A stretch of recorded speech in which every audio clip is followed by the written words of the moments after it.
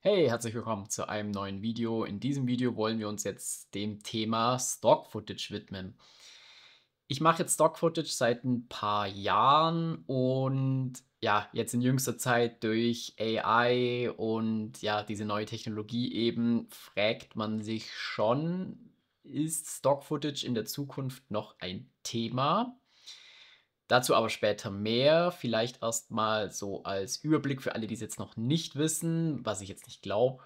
Was ist eigentlich Stock Footage? Stock Footage ist vorgefertigtes Material, das man eben auf unterschiedlichen Plattformen kaufen kann. Also wenn man jetzt ein Cutter ist und man braucht irgendwie einen Clip, einen bestimmten, dann kann man eben auf eine ja, Stock-Footage-Plattform gehen und sich den gewünschten Clip kaufen. Natürlich kann man auch komplette Videos aus Stockmaterial bauen. Das mache ich teilweise auch eben jetzt gerade bei so ja, Unternehmenspräsentationen, also viel auch im internen Bereich, also in der internen Unternehmenskommunikation wird sehr, sehr viel mit Stock-Footage gearbeitet. Auch weil man nicht für ja, jedes Projekt extra Neumaterial selber produzieren kann. Also wir alle wissen, der Bedarf an Bewegtbild ist ja exorbitant gestiegen die letzten Jahre, aber die Budgets sind nicht unbedingt gestiegen. Also früher hat es ja oft ausgereicht bei einer Präsentation, wenn man eben Text und Fotos verwendet hat, vielleicht auch nur Text.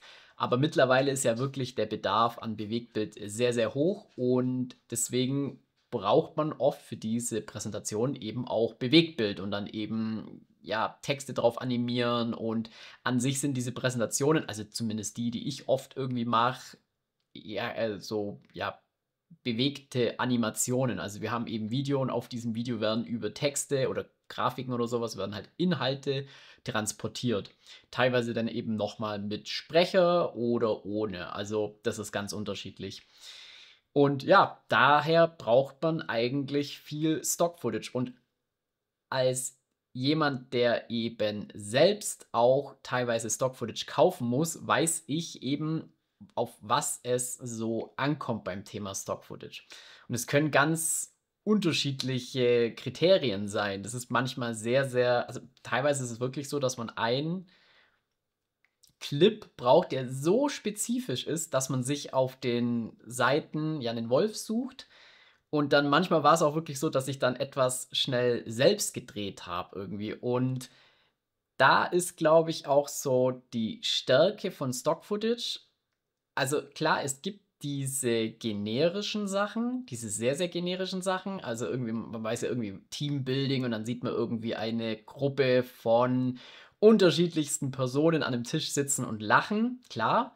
Aber es gibt auch sehr, sehr spezielle Sachen, wie jetzt ja, zum Beispiel eine Spritze aus einem kleinen Reagenzglas aufziehen mit blauer Flüssigkeit und es dann, also keine Ahnung, irgendwie, ähm, ja, also könnt ihr euch selber überlegen, sehr, sehr spezielle Dinge. Und teilweise diese speziellen Dinge, das ist auch wirklich, wo man heute auch noch Geld mit Stock-Footage verdienen kann. Teilweise ist der Markt natürlich sehr, sehr übersättigt. Auch, ja, weil sehr, sehr viele natürlich sehr, sehr früh damit angefangen haben. Aber es gibt natürlich sehr, sehr viel mittelmäßiges Material. Und hier ist auch ein ja, Tipp von mir. Also mit hochwertigem Material kann man immer noch herausstechen aus der Masse und eben Geld verdienen.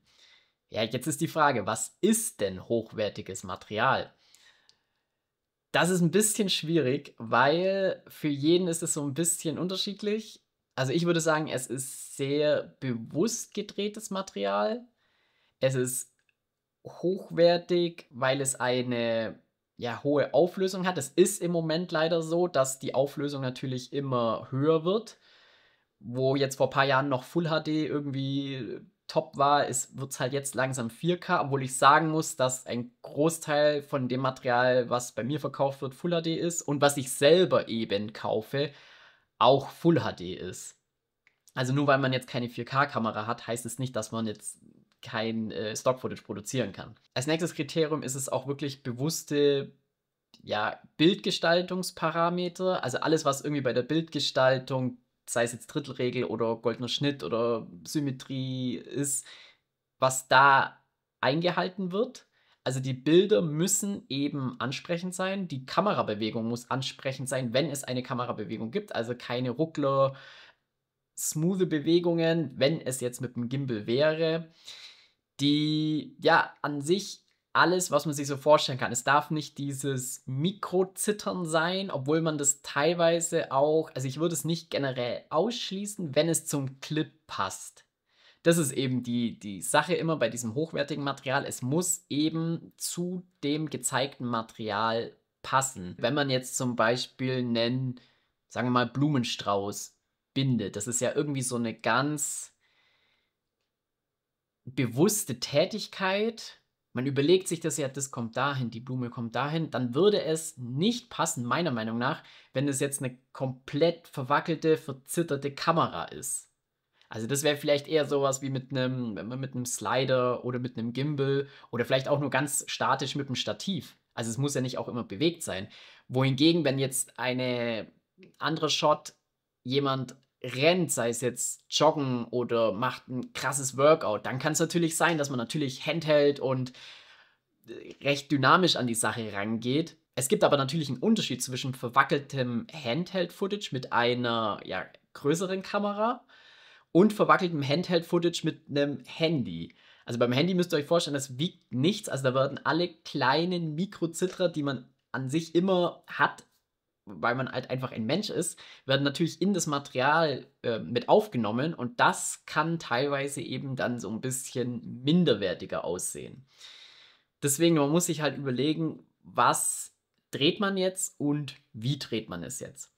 Ein weiteres Kriterium ist natürlich das Licht, was vorherrscht in der ganzen Szenerie. Das muss natürlich auch alles irgendwie passen. Und da merkt man dann schon so ein bisschen, teilweise muss man an Stock-Footage sehr, sehr geplant herangehen. Also gerade jetzt bei Naturaufnahmen oder sowas, dass, dass man dann so überlegt, okay, wann ist das Licht jetzt hier am schönsten? Natürlich gibt es auch diese spontanen Drehs, wo man dann einfach mal schnell rausgeht.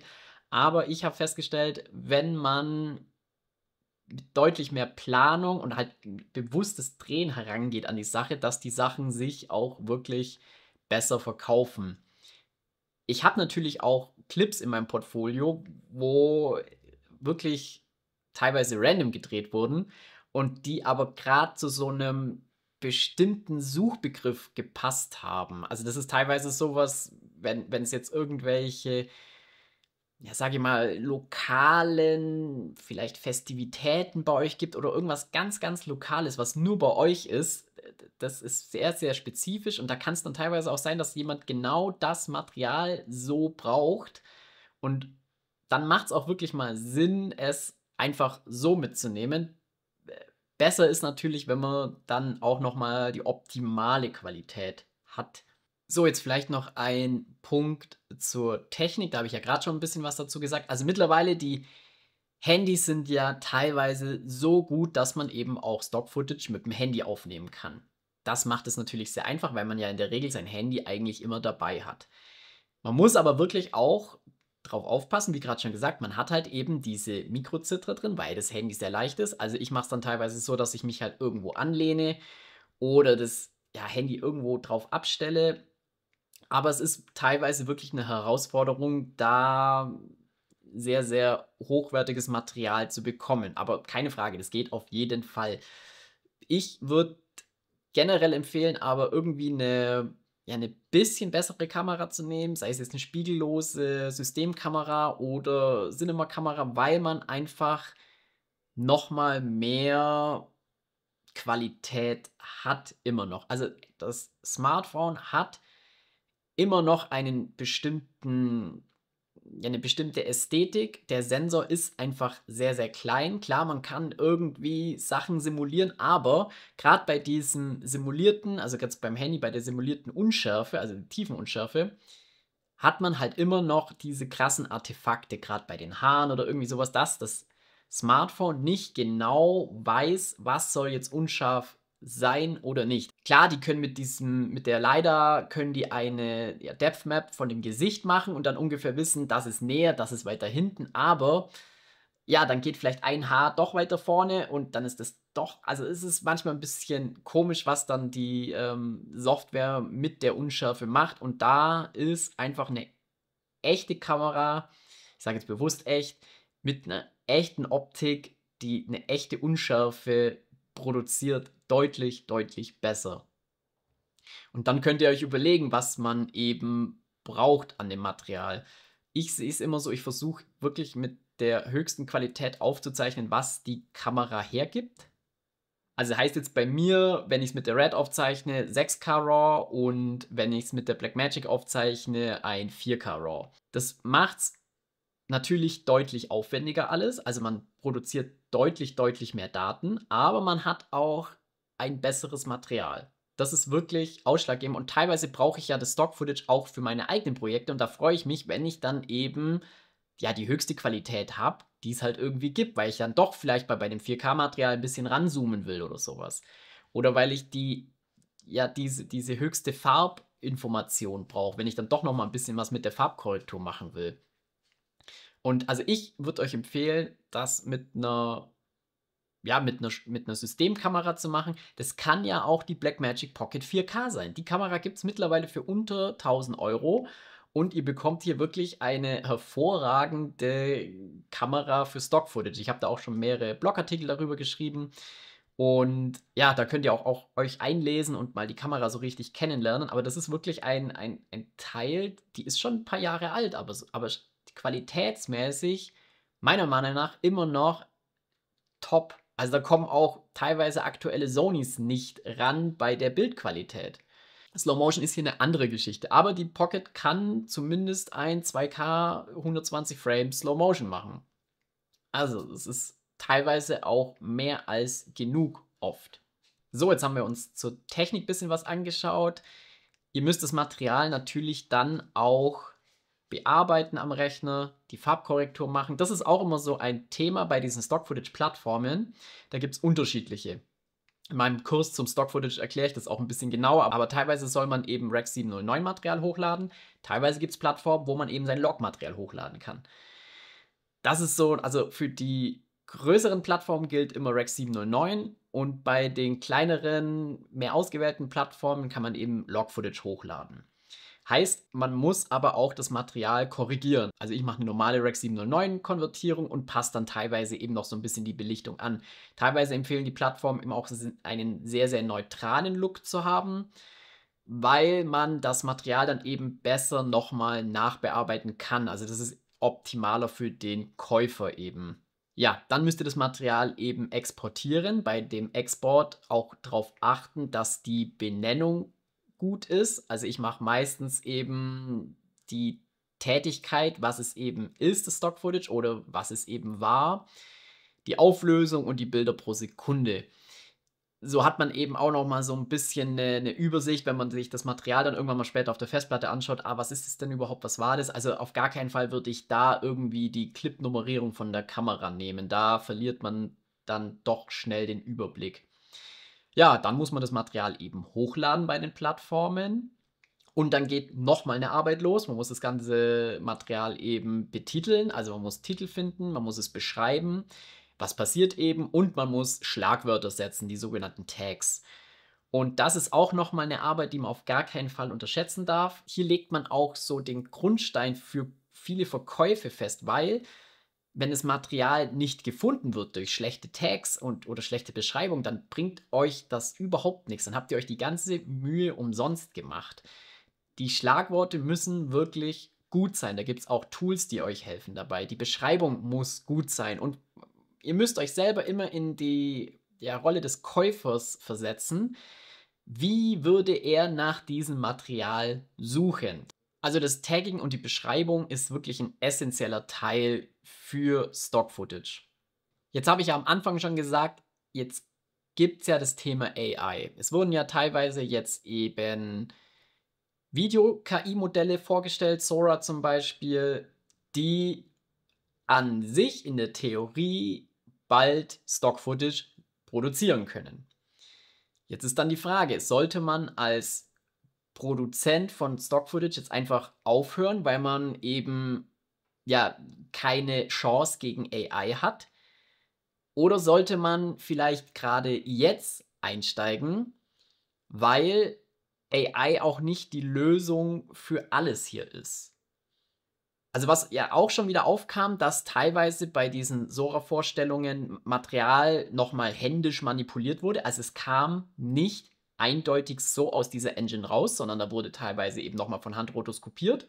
Also die Video-KI ist an sich noch nicht so weit, wie sie es vorgeben. Das ist natürlich auch Marketing.